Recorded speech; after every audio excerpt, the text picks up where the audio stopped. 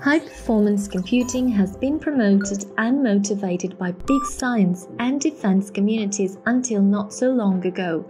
Nowadays, in our data intensive world, high performance computing HPC has become an indispensable asset in the digital transformation of our society, enabling big data analytics, artificial intelligence, and cloud computing.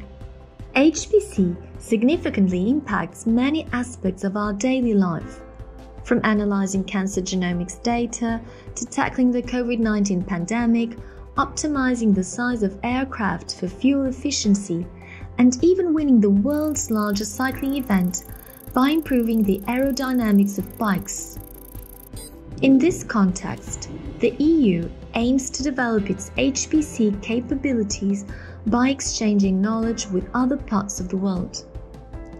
The RISC2 project is a European led initiative that aims to build a network of key European and Latin American HPC stakeholders from research and industrial communities and foster the coordination of high performance computing research between Europe and Latin America.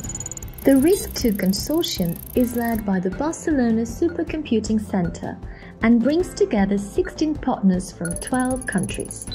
The project's overall goal is to build a strong bridge between European and Latin American HPC communities with researchers and innovators in all areas of society with access to expertise, knowledge, algorithms, and tools for developing and deploying HPC based services to tackle societal, industrial, and environmental challenges.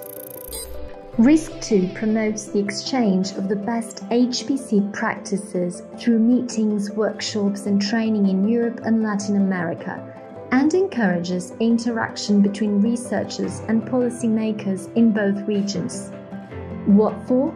To define coordinated policies and a roadmap for the future. The RISC2 project also provides a benchmark source of information that European and Latin American research organizations can use when looking for HPC related information, the HPC Observatory. The observatory's goal is to analyze HPC social and research implications. RISC2 exploring the real and potential impact of HPC on Latin America and Europe.